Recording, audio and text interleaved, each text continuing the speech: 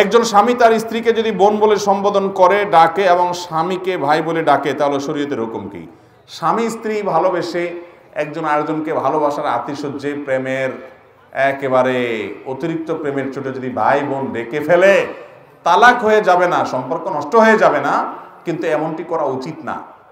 এটা স্বামী এবং স্ত্রী একে অন্যকে কীভাবে বলে ডাকবে, কি বলে ডাকবে বলেন আমাদের দেশে সাধারণত আমরা আগে দেখতাম যে চাচা চাচিরা একে অন্যকে আমাদের মা বাপরা ডাকে ওগো বলে। তাই না? মহিলারা স্বামীদেরকে কি বলে ডাকতেন? ওগো, শুনছেন?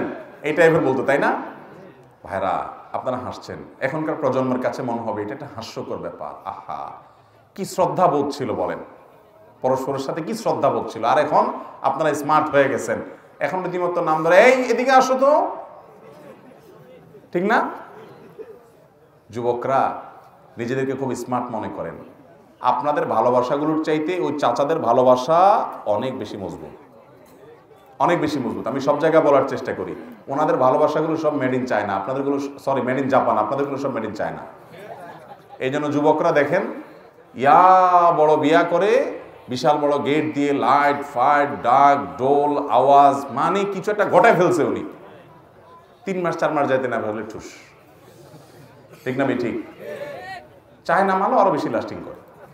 এখন যুবকদের বিয়ে, দাম্পত্য সম্পর্ক এত কম লাস্টিং করে যে চায়না মালের লংজিভিটি এর চাইতে বেশি। তাহলে আপনাদের এই সমস্ত পুষ্পাসে কি লাভ হলো? আরও চাচা চাচিদেরকে জিজ্ঞাসা করেন। এখনও চাচারে ছাড়া, চাচি চাচিরে ছাড়া চাচা বাঁচে মিস করে ফিল করে প্রচণ্ড রকমের ভালোবাসে ভাইরা হারাম এবং অনইসলামিক কালচার চর্চায় কোনো কল্যাণ মুসলমানের জন্য নিহিত থাকতে পারে। লাজুকতা উঠে গেছে, এখন যে বিয়ে শাদিতে দেখবেন, বর হোক, কনে হোক, এরা নিজেরাই সব ছবি টবি তোলা, উথামতাম করা। আগে একসময় দেখতেন যে বরের মুখে একটা রুমাল দিতে বেচারা, এরকম শর্মে নিচের দিক বসে থাকায় থাকতো। ঠিক না? কনেও একটু লাজুক থাকতো। দেখেন লজ্জা মানুষের চমৎকার একটা গুণ, এটা আমাদের সমাজ থেকে আজকাল বিদায় হয়ে, সব বেহায়া হয়ে গেছে। ছোট ছোট বাচ্চাদের মধ্যে হায়া লজ্জা উঠে গেছে। আমাদের সন্তানদের থেকে লাজুকতা লাজুকতা একটা চমৎকার, উপভোগ্য একটা গুণ। যে কোনো মানুষ লাজুক হলে, আপনি একজন অফিসের কলিগে আপনার যদি দেখেন লাজুক, আপনার কাছে খুব ভালো লাগবে। লাজুক মানুষকে সবাই পছন্দ করে। আমাদের সন্তানদের থেকে লাজুকতার গুণটা তুলে ফেলা হচ্ছে। আপনার ট্যাবু ভাঙার নাম করে, ট্যাবু। ট্যাবু ভাঙার নাম করে মেয়েদেরকে, না, তোমাদের এত লজ্জা করলে হবে না। খোলামেলা করতে হবে। তুমি জন্ম নিয়ন্ত্রণের জন্য কিছু কিনতে গেছো। এত জড়তার কিছু নাই, মুখ ফুলায় বলবা। মানে লজ্জা সরম আস্তে আস্তে তোমাদের চলে যাক, গোপন বলতে কিছু নাই। কদিন পর বলব, কুকুর, শুকুর যদি উলঙ্গ থাকতে পারে, আমাদের সমস্যা কি? আল্লাহ তারা এই সমস্ত বেহায়াদের খপ্পর থেকে আমাদের সমাজকে হেফাজত করুন। এই অসভ্যতা থেকে আল্লাহ তারা আমাদেরকে বেঁচে থাকার তৌফিক দান করুন। ভাইরা আমার, অতএব আমাদেরকে মনে রাখতে হবে, স্বামী স্ত্রী একে অন্যকে যাই বলবে না বলবে ভাই বোন ডাকবে না। নবী করিম সাল্লাহ সাল্লামের সামনে এরকম স্বামী স্ত্রী একজন আরেকজনকে, এক স্বামী তার স্ত্রীকে এরকম বোন বলে ডাকছে, বোন বলে সম্বোধন করছে। নবী সাল্লাহ সাল্লাম রাগ হয়ে গেছেন। সে তোমার বোন? তিনি তাকে ভৎসনা করেছেন। এখান থেকে বোঝা যায়, স্বামী স্ত্রী একে অন্যকে ভাই বোন বলে ডাকা জায়েজ নাই, এটা উচিত না। যদি ডেকে ফেলে, এর কারণে গুণা হবে তাহলে নাম ধরে ডাকতে পারবে কিনা, আরেক প্রশ্ন। নাম ধরে ঢাকা যদি কোনো সমাজে স্বাভাবিক বিষয় হয়, কোনো অসুবিধা নেই। কিন্তু আমাদের সমাজে সাধারণত বড়দেরকে নাম ধরে ডাকার কালচার নাই। অতএব সম্মানের জায়গা থেকে নাম ধরে না ডেকে অমুকের বাপ, তমুকের বাপ ও আবদুল্লার বাপ এভাবে ডাকা যেতে পারে। বুঝেন নাই কথা? আবদুল্লাহর জন্ম হয় নাই, তারপরও আগাম বলতে পারে আবদুল্লাহর বাপ। সমস্যা কি? আবদুল্লাহ আসবে দুনিয়াতে, সে আশায়। বুঝেন নাই কথা? অতএব ভাই বোন বলে সম্বোধন করবে না। আমার বিয়ের আগে স্যালারি ছিল খুব অল্প, ইনকাম ছিল খুব কম। মিরপুরে দারুল রশাদ মাদ্রাসায় পড়াইতাম। আঠাশশো টাকা দিয়ে শুরু করছি, এরপরে বাড়ি তিন হাজার টাকা হয়েছে। এক মসজিদে জুমা পড়াইতাম মিরপুর দশ নম্বরে, সেখানে পার জুমা পাঁচশো টাকা দিত, চার জুমায় দুই হাজার টাকা। এ হলো বেতন, পাঁচ হাজার টাকা। কিন্তু বিয়ে করার পর আলহামদুলিল্লাহ সেটা প্রায় চার গুণ বেড়ে গেছে। আল্লাহ তালা বারাকা দিয়েছেন। যা দেখেন বেশিরভাগ চাষি জিডিদের বিয়ে হয়েছে বারো, তেরো, চোদ্দ বছর বয়সে। আপনারা সবাই অল্প বয়সে বিয়ে করছেন। আপনাদের এত অল্প বয়সে বিয়ে না করলেও চলতো। আপনাদের এই বয়সে বিয়ে না করলেও, কারণ আপনাদের আমল এত ফেতনা চতুর্দিকে ছিল। আরে এখন যত ফেতনা যুবকরা নিজেদের চরিত্র বাঁচাতে পারে না চতুর্দিকে, তাদের উপরে ভেতনা মাথার উপরে এসে পড়ে। এখন আপনার চাইতে আরও আর্লি তার বিয়ে দেওয়া উচিত। যদি তার চরিত্র হেফাজত করতে হয়। মুরব্বীরা, পায়ে দাঁড়ানো বলতে কি বুঝান বলেন? পায়ে দাঁড়ানো মানে কি? বলে যে আগে নিজের পায়ে দাঁড়াও, তারপর বিয়ে দিব। আরে বাবা, সে কি আরেকজনের পায়ে দাঁড়াইছে? সে নিজের পায়ে দাঁড়াইছে না? এই পায়ে দাঁড়ানো মানে হলো গাড়ি বাড়ি করো, লাখ লাখ টাকা কামাই করো। ভালো করে শুনে রাখেন। স্ত্রীর মহারণা দেওয়া এবং কোনো মতে স্ত্রীর ডাল ভাত জোগাড় করার যদি ক্ষমতা থাকে, তাহলে সেই সন্তানকে চরিত্র হেফাজতের জন্য সে বিয়ের উপযুক্ত হলে বিলম্ব না করে তাকে বিবাহ দেওয়াটা অভিভাবকের কর্তব্য। আল্লাহ কোরআন কারিমে ওয়াদা করেছেন। কি ওয়াদা দেখেন? আনকি হল আয়াম মিনকুম ওয়াসসালিহিন মিন ইবাদিকুম ওয়া ইমাইকুম। ইন ইয়াকুনু ফুকারা ইউগনিহিমুল্লাহু মিন ফাদলি আল্লাহ ওয়াদা করেছেন, তোমাদের ছেলে মেয়েদেরকে অধীনস্থদেরকে বিয়ে দিয়ে দেওয়া উপযুক্ত হওয়ার পর তাদের যদি একটু টানাটানি থাকেও, পায়ে দাঁড়াতে যদি আদা পায়েও দাঁড়ায়, আল্লাহ রব্বুল আলমিন বিয়ের বরকতে, বিয়ের কল্যাণে তাদের অভাব দূর করে দিবেন। একটা আসর আছে একজন সালাফ থেকে আজাবান লিমান তলাবাল গেনা মিনগাইরে নেকা বলেন যে, আমার আশ্চর্য হয়, ওই লোককে দেখে যে লোক চায় যে তার পয়সা পাতি হোক, অথচ বিয়ে করে না। তাইলে বোঝা গেল যে, বিবাহের মাধ্যমে আল্লাহ তালা বারাকা মুসলমানের জীবনে দান করেন। ইমানদার, সে বিশ্বাস থাকতে হবে। আল্লাহ ওয়াদা করেছেন তোমাদের সন্তান সন্ততিদের একটু টাকা পয়সার টানাটানি আছে। মোটামুটি ডালবারটা সে জোগাড় করতে পারে, সে একেবারে অলস না, চেষ্টা করে, পরিশ্রম করে। তো তার চরিত্র হেফাজতের জন্য বিয়ে দাও। যদি তাদের একটু অভাব থাকেও, টানাটানি থাকেও, আল্লাহ রব্বুল আলমিন সেটা দূর করে দিবেন, আল্লাহর ওয়াদা আছে। অতএব অভিভাবকরা, বাবারা, আপনারা জানেন না, আপনাদের অজান্তে ছেলে মেয়েরা কত গুনাহে লিপ্ত হয়ে যায়। মেয়েদের সাথে ফেসবুকে অনলাইনে অফলাইনে চ্যাটিং এর জেনা, চোখের জেনা, মনের জেনা, কথার জেনা, সরাসরি জেনা, কতভাবে লিপ্ত হয়ে যায় মনে রাখবেন, সে তো পাপিষ্ট হবেই তার পাপের কারণে। আপনি অভিভাবক তাকে বিয়ে দিতে বিলম্ব করেছেন, আল্লাহর কাঠগড়ায় আপনি তার প্রত্যেকটা পাপের জন্য দায়ী হবেন, আসামি হবে আল্লাহ আমাদের মুরব্বীদেরকে হেদায়ত দান করুন। চাচাদেরকে আল্লাহ তালা হেদায়ত দান করুন। চাচিদেরকে আল্লাহ তালা হেদায়ত দান করুন। ছেলে মেয়েদেরকে তাড়াতাড়ি বিয়ে দিবেন তো ইনশাআল্লাহ। অনেক যুবকরা বলে যে, হুজুর, বাবাকে বুঝাতে পারি না। আমি বলি, আমার কাছে ফুসলা ফাসলা নিয়ে আসতে পারলে আমি বুঝাই দেবো, ইনশাআল্লাহ। আমি বুঝাই দেবো। এলাকার আলেমুল আমাদেরকে একটু চা পানি খাওয়াবেন। আমাকে তো আর সবাই পাবেন না। এলাকার আলেমুল আমাদেরকে ইমাম সাহেব কদিব সাহেব একটু চা পানি খাওয়াবেন। চাইনিজ টাইনিজ খাওয়াবেন। খাওয়াই বলবেন, হুজুর, আপনার কাজ হলো আমার বাপকে পটানো। যেভাবেই হোক। সুন্দর করে হাদিয়া তোফা দিয়া হুজুরকে বুঝাই দিবেন। এবার হুজুর আপনার বাবারে সুন্দর করে আল্লাহর ভয় দিয়ে সতর্ক করবেন। আমার কথা না ভাই হাসির কথা না। নবী করিম সাল্লাম বলেছেন, তোমাদের সন্তানরা যখন বিয়ের উপযুক্ত হয়, দ্রুততার সাথে তাদেরকে বিয়ে দাও। যদি না দাও, উপযুক্ত হওয়ার পর যদি বিয়ে দিতে বিলম্ব করো, গড়িমসি করো, পঁচিশ, তিরিশ, পঁয়ত্রিশ পর্যন্ত পার করে দেয় অনেকে। এরকম যদি গড়িমসি করো, তাহলে যে ফেতনা, ফাসাদ গোটা পৃথিবীর সমাজে প্রচুর পাশে ছড়িয়ে পড়বে। আজকে বিয়েকে আপনারা আটকে রেখেছেন, কঠিন করেছেন, বিলম্ব করছেন। এই জন্য সমাজে জেনার পরিমাণ বাড়ছে। আর্লি ম্যারেজ আর্লি ম্যারেজ সময় হওয়ার পর, একেবারে সময় হয় নাই, বাচ্চা মানুষ বিয়ে দিতে আমি বলি না। সময় হওয়ার পর, উপযুক্ত হওয়ার পর, দ্রুততার সাথে বিয়ে করার যে ফজিলত আছে ফজিলতটা একটু শোনেন।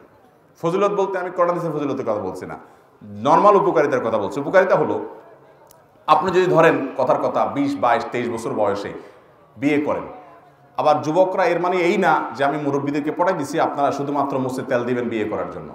কাজ শুরু করবেন সবাই। উপার্জন করবেন তো ইনশাল্লাহ বেশিরভাগ যুবক পোলাপান আজকে টোটো কোম্পানি ম্যানেজারই করে। অযথা বেহুদা, আড্ডা, ফাড্ডা, ফালতু কাজে সময় নষ্ট করে আর আইসা প্রশ্ন ধরে দেয়, হুজুর, বাপে বিয়ে দেয় না, কিছু বলেন আরে ভাই, আপনি কাজ শুরু করছেন বাপে বিয়ে দিতে? আপনি টাকা পয়সা কামাই করা শুরু করে দেন, মেয়ের বাপরা আপনাকে সোলা বলে নিয়ে যাবে। ঠিক না বে ঠিক? অতএব উপার্জন করবেন তো যুবকরা ইনশাল্লাহ আমি ছাত্র জীবন থেকে উপার্জন করি, আলহামদুলিল্লাহ। ছয়শত টাকা বেতনে চাকরি করি ছাত্র জীবন থেকে, যশোরে যখন আমি পড়ি জামিয়া ইসলামিয়াতে। তখন আমার বয়স কত হবে? অনেক কম, হয়তো ষোলো, সতেরো হবে, আঠারো হবে। এখন আঠারো পোলা পাইন তো মনে করে, বাবু বাবু খেলে এখনও বাপ মার সাথে। ঠিক না বে ঠিক বেশিরভাগ অলস এবং কুড়া যুবকরা। যুবকরা কাজ করবেন তো ইনশাল্লাহ বাপের লাখ টাকা, কোটি টাকা থাকুক, আপনি পরিশ্রম করবেন একটা টিউশনি শুরু করবেন, একটা হালাল উপার্জন শুরু করবেন। হালাল উপার্জন করতে কখনো কুণ্ঠা বোধ করবেন, লজ্জা বোধ করবেন চেষ্টা করবেন তো ইনশাআল্লাহ। তো যেটা বলছিলাম আর্লি বিয়ে হলে কি লাভ হয়? ধরুন আপনার বাইশ বছর বয়সে আপনি উপার্জন শুরু করছেন, ডাল ভাতের ব্যবস্থা করতে পেরেছেন, বাবা মাকে বোঝা বিয়ে শাদী করতে পেরেছেন। আল্লাহ তালা আপনাকে একটা যদি সন্তান দেয়, পঁচিশ বছর বয়সে আপনি বাপ হয়ে গেলেন। এই ছেলের পড়ালেখা শেষ করতে করতে সে নিজের পায়ে নিজে দাঁড়ায় উপযুক্ত হয়ে, কর্মক্ষম হয়ে, কর্মজীবনে ঢুকতে ঢুকতে ধরেন বিশ বাইশ বছর মিনিমাম লাগবে আরও বেশি লাগে। তাহলে আপনার বয়স পঁচিশ, ছেলের বয়স বিশ বাইশ। এবারে কত দাঁড়াইলো প্রায় পাঁচচল্লিশের কাছাকাছি। পাঁচচল্লিশ মানে আপনি তখনও শক্ত মাসাল্লাহ ছেলে বড় হয়ে গেছে। ছেলে আল্লাহ দু চারটা দিছেন। কোনোটা যদি অমানুষ হয়, আপনার বয়স তখনও পাঁচচল্লিশ। আপনি টনটনা এখনও বুড়ো হয়ে যান না এখনও শেষ হয়ে যান না এখনও কর্মক্ষম আছেন। বেশি উল্টাপাল্টা করলে কানটা মোলে রাস্তা ধরা দিতে পারবেন। ঠিক না বেঠিক ছেলেও সোজা থাকবে। আর যদি আপনার বয়স তিরিশের পরে বিয়ে করেন এরপরে বলেন, না, এত সকাল বাচ্চা নিতে হয় না, দুই চার পাঁচ বছর যাক। পঁয়ত্রিশ পার হওয়ার পরে বাচ্চা নেওয়ার চিন্তা করলেন। বাচ্চা হইতে হইতে আটত্রিশ হলো। আটত্রিশের পরে আপনার বাচ্চা হলো। বাচ্চা হওয়ার পরে এই বাচ্চা পড়ালেখা করে কর্মক্ষম হয়ে কাজ টাজ করা শুরু করবে, উপার্জন করা শুরু করব সেই জন্য পঁচিশ বছর দরকার। আটত্রিশ প্লাস পঁচিশ, কত হলো? হ্যাঁ? ষাটের বেশি প্রায়, না? তেষট্টি, পঁয়ষট্টি বছর বয়স হওয়া মানে তো আপনি শেষ। ঠিক না ঠিক। ওই বয়স পর্যন্ত আপনার সংসারে ঘানি টানা লাগবে, কারণ পোলাপান এখনও পড়ালেখা করতেছে, কাজ শুরু করে নাই। এরপরে আল্লাহ না করুক যদি অমানুষ হয়েছে আপনার তো এখন আর চাকরি বয়স হওয়ার নেই। এবার ওই পোলার জলম সহ্য করা ছাড়া আর কোনো উপায় আছে? আমার ওয়াইফকে অনেকে পরিচিত অনেক মহিলারা বলে যে, ভাবি মাসাল্লাহ এই বয়সে আপনি শাশুড়ি হয়ে গেছেন, কদিন পরে নানি দাদি হয়ে যাবেন মনে হয় যে আপনি এখনও ইয়াং আর আমরা মাত্র বিয়ে করলাম, এখন একটা বাচ্চা মাত্র নাক দিয়ে শিন পড়তেছে, কবে এটা মানুষ করব আল্লাহ জানে। আফসুস করে। আপনারা যেটা স্মার্টগিরি মনে করতেছেন, ওটা হলো আসল খ্যাতগিরি। আল্লাহ মুক্ত রসুল সাল্লামের বাতানো পথের বাইরে কখনো স্মার্টনেস হতে পারে? আমাদের সমাজের সবচেয়ে বড় মিথ্যাগুলোর একটা হলো ছোট পরিবার, সুখী পরিবার। ছোট পরিবার, সন্তান একটার বেশি, দুইটা নয়। এরকম কথা আছে না? ভাইরা আমার, আমাদের মুরব্বীদের যাদের পাঁচটা, সাতটা করে সন্তান, খবর নিয়ে দেখেন। খবর নিয়ে দেখেন যে তাদের ওই পাঁচ, সাতটা সন্তানের মধ্যে এমনি হুদয় ছেড়ে দিলেও দুই একটা মানুষ হয়ে গেছে। ঠিক না ভাই? ঠিক। আর আপনার আছেই একটা। ওইটা যদি অমানুষ হয় তো শেষ আপনার অলে মলে ঠিক না ভাই? ঠিক। ভাইরা আমার মানুষ, মানুষের জন্ম, এটা যে কোনো সমাজের জন্য ভালো, খারাপ কিছু না। মানুষ সম্পদ, মানুষ বোঝা না। চায়নার মতো দেশ, কোটি কোটি চায়না জনসংখ্যা কত? একশো কোটি না? না আরও বেশি। একশো কোটির উপরে। আচ্ছা একশো বিশ হোক, দেড়শো কোটি হোক, যাই হোক। আমাদের চাইতে কত বেশি? সেই চায়নায় জন্ম নিয়ন্ত্রণ করতে করতে করতে এখন এমন একটা পর্যায়ে আসছে, সরকার পাম্পট্টি দিয়ে টাকা পয়সা দিয়ে পাবলিক আর মানুষের জন্মের হার বাড়াতে পারছে না। ক্রাইসিস শুরু হয়ে গেছে। বোধহয় মাসখানেক আগে সময় টিভির মতো একটা বাংলাদেশের নিউজ চ্যানেল সেখানে একটা নিউজ দেখলাম, ইতালিতে ইতালির সরকার কোনোভাবেই মানুষের জন্মের হার বাড়াতে পারছে না। বাচ্চা জন্ম নিলে মারে পুরস্কার বাপের পুরস্কার, সন্তানের পুরস্কার, টাকা, পয়সা, ভাতা, এটা, সেটা, সুবিধা, বাচ্চা হোক বাচ্চা হোক, বাচ্চা আর হয় না। ভাইরা কেন জানেন? বিবাহ বহির্ভূত সম্পর্ককে তারা বৈধ মনে করেছে অ্যাপ্রিসিয়েট করেছে যেন বিয়ের দরকার হয় না। আর বিয়েভূত সম্পর্ক তো শুধু ভোগের ব্যাপার, এখানে বাচ্চা সংসারের ঝামেলা কেন যাবে? আর জন্ম নিয়ন্ত্রণ করতে করতে এই ক্রাইসিস শুরু হয়ে গেছে। প্রেডিকশন বলছে, আমাদের দেশে মানুষের জন্মের হার কমতে কমতে যেই লেভেলে আছে এটা আরও দশ পনেরো বছর পরে এমন একটা লেভেলে যাবে যে আমাদের সংকট শুরু হয়ে যাবে। আমরা বলি ছোট একটা দেশ, আঠারো বিশ কোটি মানুষ, মানুষের মাথা মানুষে খায়, যদি জননিয়ন্ত্রণ না করি কেমনে চলতে পারব? মনে রাখবেন, জন্ম নিয়ন্ত্রণ অথবা বিবাহ বহির্ভূত সম্পর্ক, এগুলো চরম পর্যায়ে করতে করতে একটা সমাজের ভিতরে মানব সভ্যত হুমকির মধ্যে পড়ে যাবে। আল্লাহ রব্বুল আলমিনের বিধানের উপরে পাল্লা দিতে গেলে গোল্লা যাওয়া লাগবে। আল্লাহর বিধানের সাথে পাল্লা দিতে গেলে কোথায় যাওয়া লাগবে? গোল্লা যাওয়া লাগবে, বুঝবে একটু পরে। স্বাধীনতা দিতে দিতে বলে যে মেয়েরা যা খুশি তা করুক। এরপরে ধর্ষণ কোনোভাবে থামাইতে পারে না, ইফটিজিন কোনোভাবে থামাইতে পারে না। এরপরে বলে, না, একটু শালীন পোশাক পরার দরকার আছে। গাদায় পানি খায়, কিন্তু গলায় খায়। আল্লাহ তালা আমাদেরকে আল্লাহর বিধানের গুরুত্ব বোঝার তৌফিক দান করুন। আমার আপনার ব্রেনে বুঝে আসুক বা না আসুক, আল্লাহ যা বলেছেন এর মধ্যেই কল্যাণ আছে, কোনো সন্দেহ আল্লাহ যা নিষেধ করেছেন, এর মধ্যে ক্ষতি আছে, কোনো সন্দেহ? অতএব অতএব আমরা যেন এই বিষয়টাকে খুব ভালো করে রপ্ত করি, খুব ভালো করে বুঝি যে সন্তান নিজের পায়ে দানর নাম করে সন্তানকে বুড়া বানায় ফেলবেন, তিরিশ বত্রিশ বছর বয়স করে ফেলবেন, তাকে বিয়ে দিবেন না, এটা জায়েজ নাই। আমি পল্টনে একটা হোটেল উদ্বোধন করতে গেছি, তো এক যুবক দেখি তার বাপের এরকম হাত ধরে টানতে টানতে নিয়ে আসছে আমার কাছে। আয়সা বলে, হুজুর, আপনার বহুদিন খুঁজছি, আজকে কেমনি কেমনি সামনে পেয়ে গেছি, এই যে আমার বাপ বিয়ে দেয় না, আমারে বলেন কিছু। আমি তো তার হয়ে গেলাম যে এটা কি? ডাইরেক্ট বাপের হাত ধরে ব্যাপারটা নিয়ে আসছে, বলে আমার বাপের একটু ধরেন আপনি। তাই বললাম মাসাল্লাহ তোমার মতো সাহসী ছেলে হলে বাপেরা আর বিয়ে নিয়ে গড়িমসি করার সুযোগ পাবে না। কিন্তু তাই বলে আবার বেয়াদবি বা বেহায়ামি করেন না। আল্লাহ আমাদেরকে বোঝার তৌফিক দান করুন। আমরা দৈনন্দিন জীবনে যা কিছু করি, তাকে আল্লাহ আগে থেকে জানেন। হ্যাঁ তো আল্লাহ আগে থেকে না জানলে কে জানবে? আল্লাহ তালা আলম, আলমুল গাইবি ও শাহাদা।